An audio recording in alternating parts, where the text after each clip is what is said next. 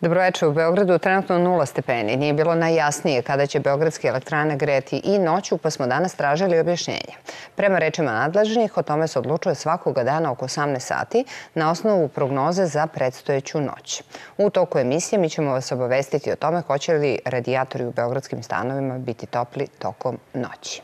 Naša dežurna ekipa nalazi se na Dušanovcu, a iz saobraćajne policije stiglo je važno obaveštenje. Koleginica Sanja Belović. Sanja, o čemu je reč?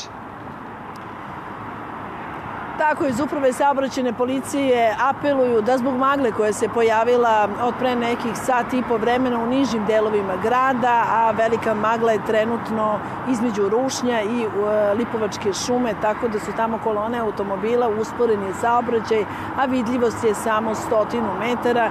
Iz uprave saobraćene policije apeluju da vozite pažljivo, da se upale e, svetla za maglu i da se prati kolona. Inače, magle u ovom trenutku na autoputu, kao što možete videti, nema. Gužva je uobičajena, ne toliko strašna kao što zna da bude, ali ono što želim da vam pokažem jeste druga strana autoputa koja vodi um, ka Šidu i veliki problem ovde upravo uh, stvara kolona koja skreće za Dušanovac, znači decno. Tu je zapravo najveća kolona u krajnjoj levoj traci jer se dugo čeka zbog raskrsnice koja je onako vrlo nezgodna. Jedan pravac vodi ka Kumodraškoj ulici, a e, dva pravca vode ka Dušanovačkom mostu i onda tu nastaje nešto veća gužva. U ovom trenutku gužve ima i na Tošinom bunaru, Brankov most nije tako loš, ali ono gde jeste neobičajeno mesto da bude gužva, to je most na Adi, tamo je sada trenutno nešto veća gužva i u Višnjičkoj ulici došlo je do manjeg udesa sa uh, velikim teretnim vozilom, tako da je tamo ka Pančevačkom mostu gužva i u pravcu ka gradu sa Pančevačkog mosta. U svakom slučaju budite oprezni kada je saobraćaj u pitanju u bilo kom pravcu u kom se nalazite. Slađom. Hvala ti Sanja. Ja vam ponavim još jednom nula stepeni, temperatura možda ode i u minus, dakle moguće je i poledica, zato oprez u vožnji. Evo šta još između ostalo, gledate večeras u Hronici.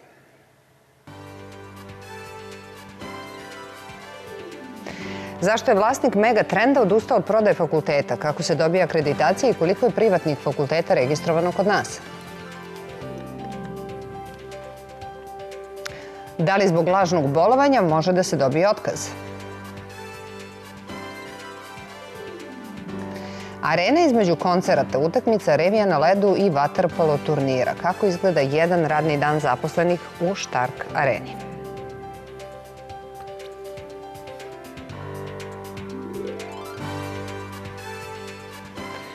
A prema rešenju grada Beograda koje je objavljeno u službenom glasniku, registrovanih taksista biće za trećinu manje. Ta odluka treba da se primenjuje od 1. januara sledeće godine.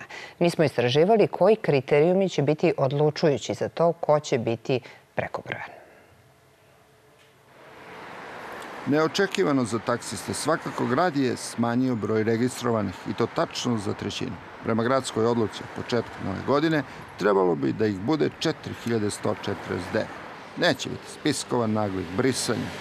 Ko radi propisno, ostaće u poslu. Do smanjenja će doći postepeno. Imate uh, trajnu nesposobnost, odlazak u penziju, uh, prekid rada zbog nekih krivičnih dela ili uh, neplaćanje državi, državnih obaveza. Kada raste broj žitelja, dolaze sve više poslovni ljudi i turisti, smanjuje se broj taksista. Da li to znači da neće biti i primanja? Povećanje broja zavisit će od suzbijanja sive ekonomije, u koju Aleksandar Bijelić, predsednik taksi udruženja Srbije, ubraja i korišćenje raznih aplikacija za pozivanje taksija. Ako vam kažem da smo da, da je država u posljednjih e, dve, tri nedelje oduzela skoro 20 automobila nelegalnim prevoznicima, ukoliko se to suzbi onako kako smo i razgovarali sa predsednicima države u narednih mesec ili dva, naravno da će se verovatno i pojaviti onda potreba za nekim određenim brojem taksi vozila. Prema njegovim rečima, namera grada je da zaista uredi ovu službu, a jedan od načina je da država subvencioniše nabavku novih vozila. Bele boje saznali smo od različitih proizvođača vrednih od 13 do 20 hiljada evra. Novo je bezbedno za sve, smanjuje troškove održavanja jednobraznu službu na kojoj će svi građani kao i gosti ovog grada moći da se oslone i, i da prepoznaju ko jeste i ko nije taksista. Taksista mora biti zadovoljan platom, odnosno realnom cenom prevoza koja se uvek zasniva na ponudi i potražnji. Da on može da obnavlja vozilo, da ga unapređuje, da uzima sutra električni pogon i tako dalje. Gradski prevoz se dotira iz budžeta značajno, jer karte nisu ekonomske taksi je dopuna gradskom životu, jer štedi vreme i troškove parkiranja poslovnim ljudima. Nezamenljiv je noć i onim delovima grada gde gradski prevoz ne dolazi. A kako proveriti koliko taksista radi? Trebalo je, kaže, davno oformiti jedinstven call centar. Koji će prikupiti svakodnevno realne podatke o izvršenim vožnjama, o zahtevima za vožnjam i na, taj, na toj osnovi videti i kolebanje potreba za prevozom u toku dana, i nedelje, i meseca i na taj način videti da li treba ili ne treba i u kom periodu treba više ili manje taksista. Krajem iduće godine dobit ćemo još jednu studiju koja će obuhvatiti broj taksi vozila. Za nas je odva i kada bitno da imamo vozilo kad pada kiša i sneg, i u udaljenim delovima grada, bilo na poziv, bilo da ga zaustavimo na ulici, što bi se reklo, uđemo na kvaku. E, ne samo da se u Štark areni koncerti i sportski događaji smenjuju iz dana u dan, već se dešava da su za isti dan planirane dve potpuno različite manifestacije. Kako izgleda radni dan zaposlenih u areni? Pripreme su u toku. Bilo je i zahtevnijih koncerata ističu zaposleni u areni od ovoga koji će sutra održati grupa Deep Purple. Najteži deo posla je završen, oprema je uneta. Sada se kranom kače sajle. Za jednu tačku je potrebno 20 minuta e, za kačenje, a ako kažemo da je u proseku negde 50 tačaka za neki srednji koncert, e, neka matematika nam kaže da je potrebno dva radna dana. Međutim, kada su događaji u toku, e, mi radimo danonoćno. Nema radnog vremena u areni za neke zaposlene. Događaji se smenjuju dnevno, a svaka nova organizacija novi je izazov. Prošlog meseca dva događaja u jednom danu. To je podrazumevalo i dodatne radnike. Tog 17. E, smo imali dva vrlo zahtevna događaja. E, od 10 do 16 časova je bio maraton u areni i oko arene i e, već u 18 sati smo morali da otvaramo ulaze za utakmicu koja je bila uveče u 20 časova. Tako da ovaj, smo uopšte plan i dinamiku e, realizacije e, osmišljavali jedno dva dana da bismo u ta dva sata uz preciznu satnicu i uz ekipu 30 momaka i 25 podizvođača uspeli da se iz, iz hale takve, znači da potpuno promenimo funkciju arene i unutrašnje arene, pretvorimo u sportsku halu spremni za, za košarkašku. I kada deluje da se u areni ništa ne dešava, nije tako. Samo su u toku pripreme za nove manifestacije. Godinama se u areni smenjuju koncertne bine, led, ovde je održano i Evropsko atletsko prvenstvo. Svojevremeno izazov su bili i bazeni za vaterpolo takmičenje. Kako kažu, nema tog tehničkog izazova koji njihovi zaposleni ne mogu da prevaziđu.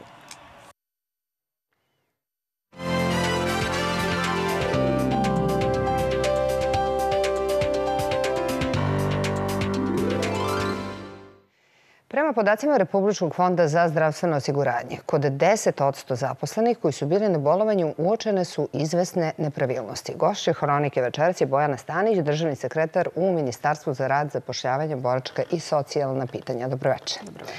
Dakle, hajde da prvo jednu dilemu raščistimo. E, mnogo se priča u poslednje vreme o poštenim kriterijumima za, i kontroli bolovanja. Novi zakon zapravo ne postoji. Postoji zapravo samo predlog, je li tako? Jeste. Privredne komore. A, ovako, moram da objasnim. Znači, postoji inicijativa Privredne komore iz 2018. godine da se izvrši e, poštravanje zakona o radu u delu kontrole bolovanja. Kako? U kom smislu? E, da u još jednom članu zakona kažemo da zaposleni ukoliko zloupotrebi pravo na privremenu sprečenost za rad može dobiti otkaz ugovora o radu. To već postoji u članu 179. Oni insistiraju da to ubacimo i član 103, što bilo suvišno po nama. E, moram da objasnim prosto celu priču. 2021. će se raditi izmena zakona o radu. E, Privredna komora je nama svakako član radne grupe kada radimo e, sve zakone koje su nadležnosti Ministarstva za rad, zapošljavanje, boračke i socijalne pitanje, pa će tako biti član radne grupe za izradu novog zakona o radu 2021. Ali smatramo da je ova uh, materija dosta dobro uređena. Glavni adut za ovu, ovaj zahtev Privredne komore je upravo bilo to što su sve fabrike u vreme poljoprivrednih radova stajale jer su zaposleni maksimalno, ove, odnosno koristili, zlopotrebljavali pravo na privremenu sprečenost za rad, otvarali lažna bolovanja. Ali da li je to dokazano? Uh, Pa to je prosto evidentno. To je pretpostavka. Ne, ne, to je evidentna činjenica. Znači, sve fabrike apsolutno stanu da rade, na primjer, Ivanjički kraj, koji je poznat po malinama, kada se beru maline, sve staje. Ali čekajte, znate što kaže fond s druge strane? E, oni kažu da su uočene nepravilnosti, 10% nepravilnosti, ali da su te nepravilnosti koje fond uočio uglavnom bile, kako bih rekla, administrativne i tehničke. Što znači? Nisu se javili na vreme na posao, nisu doneli doznake i tako dalje. Znate kako, u malim sredinama svi se znaju. I doktorka može da vam otvori bolovanje od prilike, aha, treba mi dan, dva za neke privatne stvari, treba mi da obrem maline ili slično. Ali, mi smo, evo, samo da vam objasnim kako smo mi ove, ovaj, rešili ovaj problem. 2018. godine Narodna skupština usvojila je zakon o pojednostavljenom radnom angažovanju na sezonskim poslovima u određenim delatnostima u poljoprivredi i taj zakon počela je primjena 7.1. ove godine. Uh -huh. Mi smo omogućili da zaposleni mogu biti radno angažovani po tom uh, zakonu o pojednostavljenom radnom angažovanju. Što znači da je poslodavac, u, tom, u ovom slučaju vlasnik poljoprivrednog gazdinstva, individualni poljoprivredni proizvođač, dužan da tog zaposlenog koji mu radi na sezonskim poslovima prijavi mhm. preko portala Poreske uprave do 10 sati ujutru ukoliko radi prepodnevnu smenu, odnosno 14 sati ukoliko radi popodnevnu smenu. Što znači da je on pokriven, je li tako? On je pokriven, ali samo jedan sekund. Znači, u tom, e, ukoliko inspektor rada izađe na poljoprivredno gazdinstvo i zatekne tog radnika, Znači, on ima informaciju da je taj radnik zaposlen kod dva poslodavca. Kod ovog poslodavca prvog kod koga je u radnom odnosu i kod koga je zlopotrebio bolovanje i kod Čekajte, koga radi... i ko je tu sada kriv? Ovaj prvi poslodavac ili ovaj drugi? Ne, Svakako neće biti radnik. Ukoliko on radi posle radnog vremena, kad završi svoje radno vreme... To je radi, njegovo pravo. To je njegovo pravo. Ali ukoliko zlopotrebi pravo na bolovanje i radi kod ovoga, onda govorimo o... Ali da vas pitam, uh, u praksi to možda izgleda tako kako ste vi rekli. Šta je dokaz da je neko uzeo lažno bolovanje? Osim te tvrdnje, recimo u maloj sredini se svi znaju. Vama zakon o radu predviđa, na osnovu člana 179, da poslodavac može zaposlenog da uputi u nadležnu zdravstvenu lekarsku ustanovu o svom trošku da izvrši osnovanost tog bolovanja. Što znači, e, mi smo, e, odnosno poslodavac je limitiran e, zakonom o zaštiti podataka o ličnosti, znači ne može da zna od koje bolesti i slično zaposleni boluje, iako u samom obrazcu potvrde se nalazi šifra bolesti, pa može po šifri eventualno da zna koja je bolest u pitanju, ali u svakom slučaju on e, može da ga uputi kod lekara i da kaže da li njegovo zdravstveno stanje u tom trenutku odgovara da će biti odsutan sa rada 15 dana, 30 dana ili slično. Ali to verovatno podrazumeva i neku komisiju i sve ostalo, tako? U tom slučaju, ako u se tom, proverava? U tom slučaju, da. Dobro, a ko kontrolište da li bolovanje lažno ili ne? Pa upravo sam vam sad objasnila. Znači, poslodav, na poslodavcu je inicijativu. Dobro. Poslodavac ima mogućnost, ukoliko utvrdi da je neko zlopotrebio bolovanje... Obraća da se da, zdravstvenoj ustanovi, ili tako? Obraća se zdravstvenoj ustanovi uh -huh. i zdravstvena ustanova kaže ne, ne, on je zaista bolestan i slično. E sad, imate e, različite diagnoze. Jedna vrsta diagnoza zahteva e, hospitalizaciju u bolnici, druga vrsta e, zahteva kućno lečenje. Treća vrsta diagnoza apsolutno ne zahteva ništa. I onda se, recimo, ili preporučuje banjsko lečenje, ili preporučuje da se taj zaposleni u zavisnosti od njegove diagnoze socijalizuje, jer mu to doprinosi najčešće to za menadžerske bolesti. I onda vi kad imate tu diagnozu gde on treba da se socijalizuje, u stvari nemate e, mogućnost da izvršite da li je to bolovanje lažno ili, ili ne. Ali znate šta moram da vas pitam? Sada mi je palo na pamet. Poslodavci, dakle, imaju pravo da kontrolišu zaposlene. Šta ako poslodavac, e, recimo, mnogo se priča o mobingu u poslednje vreme, kontroliše zaposlenog i to bude pogrešno. Da li poslodavac snosi, snosi neke sankcije? Ili ne? Ili je poslodavac u tom smislu zaštićen? Ne, u tom smislu je zaštićen zato što vi u zakonu o radu imate mogućnost da on može da izvrši opravdanost tog bolovanja. Moram još jednu stvar, digresiju da napravim. Do 2014. to je bilo vrlo indikativno jer nije bilo ograničeno koliko iznosi otkazni rok kada zaposleni daje. I onda kada dođe do poremeće između poslodavca i zaposlenog, zaposleni da otkaz i onda, pošto je bilo limitirano, na primjer, neki poslodavci su stavljali da kada zaposleni daje otkaz, to iznosi 90 dana i uh, on tih 90 dana ne želi da dolazi na posao. I on najčešće uzima bolovanje i počinje da radi kod drugog poslodavca kod koga se već uh mhm. -huh. dogovorio da pređe.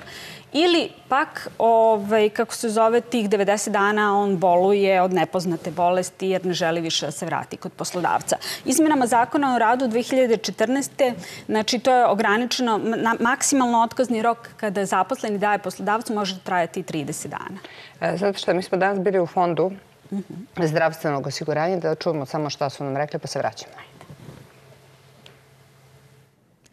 Poslodavac može u roku od 30 dana od otvaranja bolovanja da podnese zahtev za ponovni pregled zaposlenog.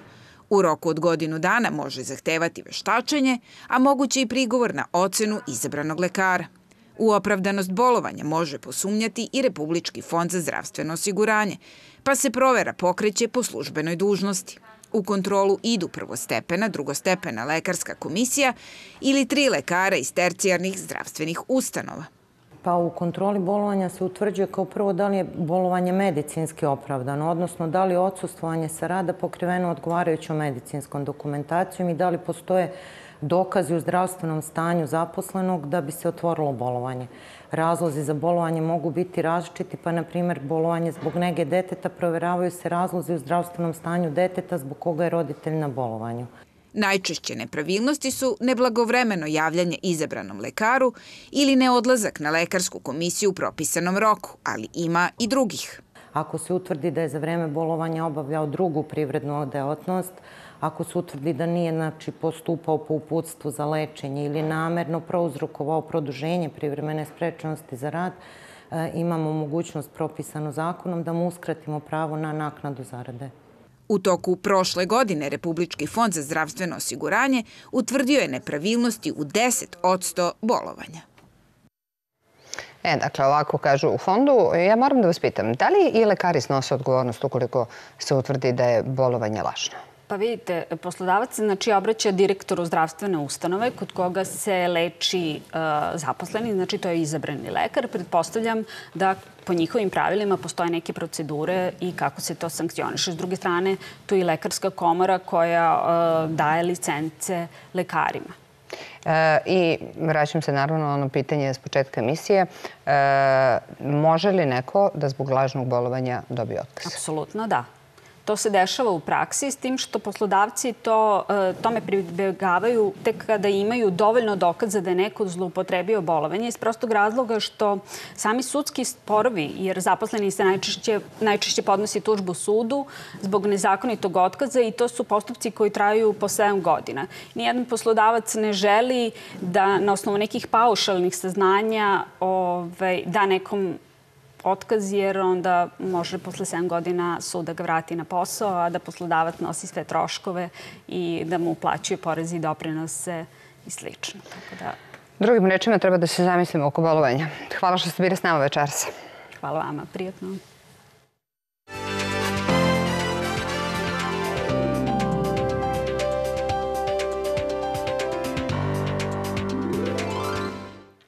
Bazen u zgradi, obezbeđenje, centralno održavanje, recepcija je otvorena 24 sata. To postaje standard za reprezentativne zgrade u Beogradu. U jednoj od najlepših, koja se još gradi, već je prodato više od dve trećine stanova. Cena između 3 i 4 hiljada evra po kvadratnom metru. Mi smo ušli u najluksuzniji. Za jedini penthouse u kompleksu na mestu nekadašnje američke ambasade u ulici Kneza Miloša površine 250 kvadratnih metara, od kojih je 110 terasa sa pogledom na ovu ulicu, budući vlasnik moraće da plati oko 850.000 evra. Ostali stanovi u ovom delu kompleksa koji je pod zaštitom države, a ima ih 42, jeftiniji su od penthouse, ali 30% skuplji od stana u drugom delu bloka. Cena nije viša zato što se stanovi nalaze u zaštićenom delu zgrade, već zbog dobrog pogleda na jednu od najvažnijih beogradskih ulica i zbog toga što se stanovi prave kao salonski sa direktnim pristupom spa centru, liftom koji vodi do centralnog atrijuma i zbog kvaliteta ugrađenih materijala. Projekat Kneza Miloša Residence na prostoru bivše američke ambasade će biti poseban pre svega po svojoj tehničkoj specifikaciji i iskorišćenosti poznate beogradske adrese. Ovde imamo ukupno 226 luksuznih stanova, preko 400 parking mesta, budući wellness i spa centar na 2000 metara kvadratnih i ono što projekat čini posebnim, jedna od šest stambenih lamela, biće praktično lamela u koju moramo da vratimo izgled prethodne fasade, koja je nekada i krasila zdanje koje su koristili Amerikanci i naravno sve uklopimo u ambijentalnu celinu starog dela Beograda. Bazen u zgradi, obezbeđenje, centralno održavanje, recepcija otvorena 24 sata, to će imati ovaj kompleks i to polako postaje standard za reprezentativne zgrade u Beogradu. Iako se useljenje prvih kupaca očekuje u oktobru naredne godine, već je prodato više od dve trećine stanova i to je potvrda da za kvalitetne nekretnine u predstavnici uvek ima dovoljno zainteresovanih. Kupci su i gosti iz inostranstva i naši ljudi i u ovom periodu koji nam je prostao očekuju nas završni radovi i naravno blisko useljenje u mesecima koji su ispred nas. Investicija je gotovo 50 miliona e, dolara. E, ukupno će biti kvadrata oko 45.000 bruto razvijene građevinske površine. Ulica Kneza Miloša od Skupštine do Mostarske petlje, nekadašnji Topčiderski drum, kojim je svojevremeno prošla i prva električna tramvajska linija, poznata je po najreprezentativnijim državnim zgradama i ambasadama. Pune dve decenije pažnju su u ovoj ulici najviše skretale ruševine nastale tokom ratnog bombardovanja. Ta slika će se završetkom dva reprezentativna kompleksa znatno promeniti. Država će tek odlučiti o sudbini ruševine nekadašnje generalštaba. Ograda oko parcele na broju 30 krije još jednu propalnu investiciju – To je mesto na kojem bi u perspektivi mogla da se očekuje izgradnja još jednog reprezentativnog objekta. Do kraja godine biće poznato i da li je grad odustao od izgradnje garaža ispod kolovoza Kneza Miloša, od Nemanjine do Mostarske petlje i da li će i kakve izmene pretrpeti koncept koji je predstavljen javnosti, saznali smo od gradskog urbaniste Marka Stojčića. E, ove fotografije dobili smo od našeg gledalca reportera Dimitrija Lilića. On kaže, na slikama je prolaz kod policijske stanice Voždovac. Svakodnevno tu staje veliki broj autobusa i ljudi izlaze tu umesto na autokomandi. Od pre nedelju dana su tu radovi i prolaz pored policijske stanice je zatvoren. Kao što vidite, ljudi se bukvalno kreću autoputem kao i u ovom slučaju, sve dok ne skrenu ka Južnom bulevaru. Vrlo nebezbedno. A kako sve to izgleda uživo, to je proveravala Sanja Belović u popodnevnim satima upravo nalazimo na mestu, zapravo sa fotografije koje nam je poslao naš gledalac reportera, to je između Doma zdravlja Voždovac i policijske stanice Voždovac. I jeste, jako nezgodna situacija, upravo ćete vidjeti i pešake, nadam se, koji od autobuske stanice, ako bi krenuli južnim bulevarom, slobodno prođite, upravo to i snimamo, ne mogu bezbedno da nastave dalje, zato što je prolaz eh, ka policijskoj stanici gde se prolazilo kao ustaničkoj potpuno zatvoren, a ako bi išli ka Južnom bulevaru, kao što ovaj pešak e, sada radi, onda idete potpuno nebezbedno, idete praktično autoputem, velika frekvencija vozila ovde, kažem, puno ljudi upravo ovako mora da izađe na Južni bulevar, kažem, ovde je autobuska stanica gde se obraćaju autobusi 17, 38A, 38L i 70, tako da umoje da bude velika gužva. Mi smo pred desetak minuta, baš kad je jedan autobus autobus istovario putnike, imali priliku da vidimo kako u kolonama ljudi idu nebezbedno autoputem kako bi izašli gore u Ustaničku ulicu i preseli na neki od željenih autobusa. Svejedno, e, svakako hvala svakom gledalcu, reporteru koji nam pošalje ovako nešto. Na nama je da to zabeležimo i da pokušamo da rešimo. A vazduh prema podacima Gradskog zavoda za javno zdravlje trenutno je prihvatljiv, dok merne stanice Agencije za zaštitu životne sredine pokazuju da je vazduh zagađen u Starom gradu i na Novom Beogradu. Na mernom mestu u Mostar vazduh je prihvatljiv, a na Vračaru odličan. Istraživali smo da li nam i koliko grejanje zagađuje vazduh. U Beogradu sve hladnije, pa Milenko Dimić, domar u osnovnoj školi Vojvoda Mišić, proverava treba li u kotlove dodati brikete i ugalj. Priča, čim počne grejna sezona, kolega Rade u školu dolazi u pola pet, da očisti ložišta i potpali dva kotla, u koje na svaka tri sata dodaje ugalj. Učenicima u produženom boravku mora da bude toplo do 18 sati. Do kraja meseca kotlovi će zasluženo otići u istoriju, a kada se završi grejna sezona, biće i demontirani. Škola na autokomandi biće priključena na daljinski sistem grejanja. Problem zagađenja, bar u ovom delu grada, biće trajno rešen. Od 2012. godine, od kad je počeo da se realizuje program gašenja kotlarnica, ugašeno je 17 individualnih kotlarnica. Do kraja godine planirano je gašenje još četiri kotlarnice. To su kotlarnice e, u školi e, Vuk Karadžić, Dositej Obradović, e, Vojvoda Mišić i Filip Višnjić na Karaburmi. Beograđani, uprko saobraćaju i individualnim kotlarnicama, danas, kao i prethodnih dana, udišu vazduh koji je u kategoriji dobrog i odličnog kvaliteta, tvrde u Gradskom zavodu za javno zdravlje. Tome pre svega doprinose vremenske prilike, zato što nema tih takozvanih temperaturskih inverzija, prisutan je vetar, što pogoduje tome da se zagađujuće materije ne zadržavaju u nižim slojima atmosfere. Individualno ložište su pored saobraćaja glavni izvor zagađenja vazduha u Beogradu, s tim uzavši obzir da je Beograd heterogenog karaktera vezano za ra raspodelu individualnih ložišta i saobraćajnica, pre svega velikih na kojima dolazi do pojave gužvi, tako da u različitim delovima grada dominiraju različiti izvori zagađenja. Primjera radi u velikim ulicama kao što je Bulevar Despota Stefana, svakako su dominantna e, zagađenja koje potiču poreklom iz saobraćaja, dok su u nekim manje razvijenim delovima grada gde ne postoje daljinske grejanje ili grejanje na gas, pre svega dominiraju izvori iz kućnih ložišta. Struka kaže da su individualne kotlarnice zimi najveći zagađivači vazduha u Beogradu i da bismo udisali čistiji vazduh, važno je da se što više njih priključi na gas ili toplane.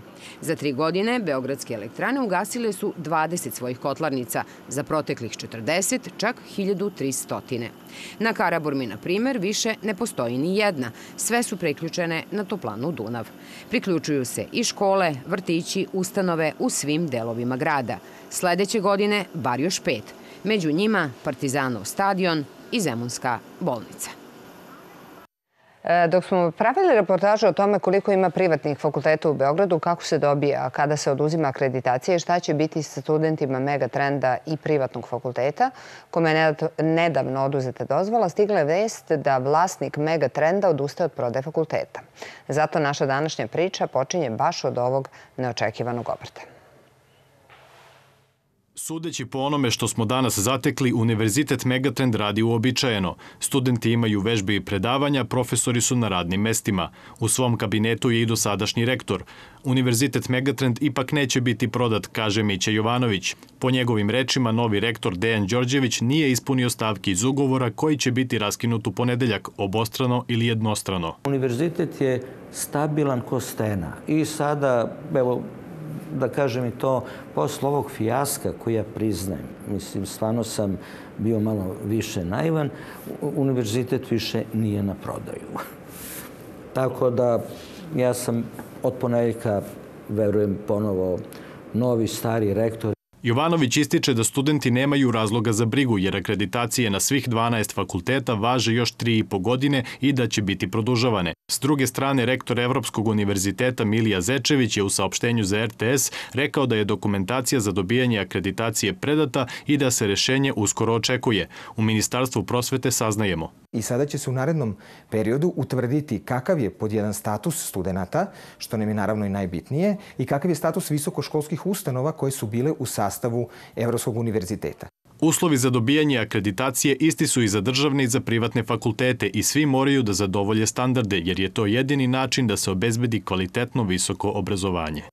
Te standarde čine osnovni zadaci i ciljevi visokoškolske ustanove, planiranje i kontrola, organizacija i upravljanje, studije, naučno-istraživački i umetnički rad, nastavno osoblje, nenastavno osoblje, studenti, prostori i oprema, biblioteka, učbenici, informatička podrška, unutrašnji mehanizmi za osiguranje kvaliteta, izvori financija i javnost u radu, kažu u Nacionalnom akreditacijonom telu Prema podacima Republičkog hidrometeorološkog zavoda u 14 časova temperatura je bila samo 1 stepen, a na nezvaničnom sajtu uh, AD Ciganlije piše da je temperatura vode u Savskom jezeru bila 14 stepeni. Prema poslednjem merenju u Beogradu je 0 stepeni, slede Beogradske vesti. Gradonačelnik Beograda, profesor dr. Zoran Radojičić, otvorio je u Centru Sava konferenciju pod nazivom Obnovljivi izvori energije u sistemima daljinskog grejanja i hlađenja, na koji su predstavljena najnovija dostignuća u primjeni obnovljivih izvora energije. U Beogradu 95% potrošača koristi prirodan gas, energent, koji u odnosu na ostala fosilna goriva najmanje štetan po životnu sredinu, a pre svega kvalitet vazduha. Uskoro će biti uvedeni i obnovljivi izvori energije, a Beograd se kandidovao za zelenu predstavnicu 2022. godine i u toku je izrada akcionog plana za zeleni grad i akcionog plana za održivu energiju i klimu. U osnovnoj školi Zaga Mali u Krnjači zasađeno je prvo drvo u okviru akcije Drvo generacije. Planirano je da u narednom periodu u svim beogradskim osnovnim školama prvaci zasade po drvo. Ovaj ekološki projekat istovremeno je i deo praktične nastave u prirodi. Zamenik gradonačelnika Goran Vesić je rekao da u Beogradu ima 185 škola i da će ovom akcijom biti obuhvaćeno oko 17.000 đaka.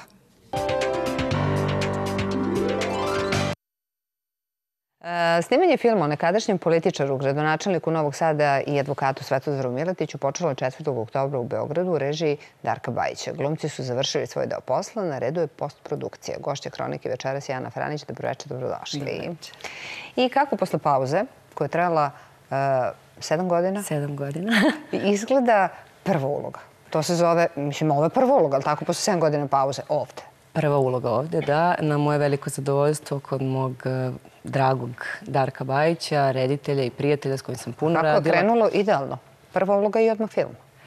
Pa da, to je u današnje vreme dosta čudno, zato što se ovde mnogo više sada rade serije iz nekakvih produkcijskih i svih drugih razloga, tako da je ovde dobiti sada filmsku ulogu postala gotovo nemoguća misija, eto meni se posrećilo. Dobro, divna glumačka ekipa i uloga Anke e, Miletić. Da li je to zahtevalo neku posebnu pripremu? E, da li je moralo da se čita, uči, proučava, izučava? Kako se uopšte spremaju takve uloge? Pa sve uloge iz, iz, ovaj, iziskuju izvesnu pripremu na ovaj ili onaj način, e, istraživačku, psihološku, uh mhm. -huh. kakvu god, tako da nije ovde bilo nekakvih različitih stvari u odnosu na neke druge pripreme uloga, ali bilo je zanimljivo vratiti se u neko drugo vreme. Hmm, zato je pitam, istorijska ličnost je u pitanju, pa kao... Pa jeste s tim da konkretno o Anki malo podataka ima, jel da? Mnogo više o njenom suprugu, Svetozaru Miletiću, koga igra Ljuba Bandović i čerki Milici Miletić, kasnije Tomić, koja je bila udata za Jašu Tomića, tako da su oni Dobro, nekako... A kakva je Anka?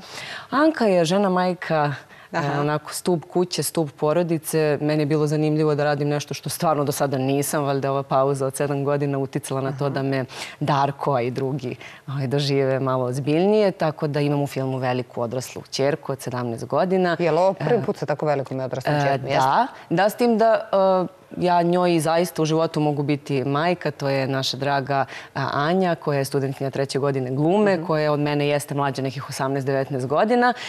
Ja igram u filmu Ženu svojih godina. U ono vreme su mlade rađale, tako da to me valjda čeka. Sad smo došli u tu fazu. Dobro, ja moram da pomenem stvarno, pošto je fenomenalna glumačka ekipa i pročitaću, zaboravit ću nekog sigurno, ali Žarko Lušević, Andrija Kuzmanović, e, Nikola Ristanovski, Katarina Žutić, Darko Bajić je reditelj. Ljubo dakle, Vandović. Ljubo Vandović, da, njega smo već pomenule. E, kako je igrati sa tako iskusnom ekipom?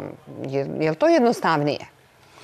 Pa sigurno da jeste, ali ja kažem da je ono uvek što je najlepše u ovom našem poslu, to je nekakav spoj mladosti i iskustva. Mladost koja nosi sa sobom svežinu, e, zrelije godine nose sa sobom iskustvo, a ovde je bilo upravo to. S jedne strane ova glumačka ekipa o kojoj ste vi govorili, s druge strane je, e, ponovo kažem, naša Anja koja igra veliku ulogu. Ona ima praktično glavnu žensku ulogu, igra Milicu Miletić ili Milicu Tomić kasnije, čerku Svetozara Miletića, e, sa nekih 28 snimajućih dana, što je zaista mnogo za nekoga ko ima svega 20 godina, ko je na trećoj godini akademije, ali jedna divna mlada glumica Anja Pavićević. Za, za, ovaj, za, zapamtite to e, ime jer je onako svetla budućnost pred njom. Tako da je meni zadovoljstvo što sam s jedne strane imala nju, videla u njoj neke svoje početke, sećala se kako je bilo meni nekada, s druge strane kolege koji već imaju veliki, veliku kilometražu iza sebe, iskustvo, nekako...